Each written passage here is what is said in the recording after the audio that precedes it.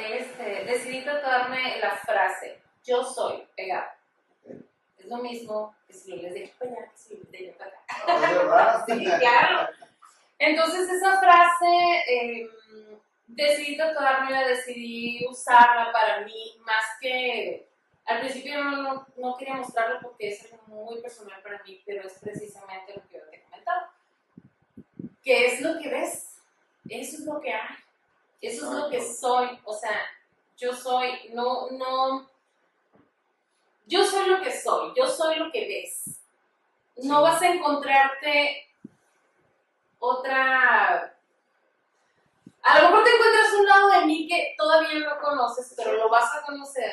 Pero no tengo una careta. Por eso quedaste entonces especial en este podcast, ¿no? Yo creo que sí. Porque yo con los invitados anteriores lo que siempre hemos intentado es eso, es muéstrate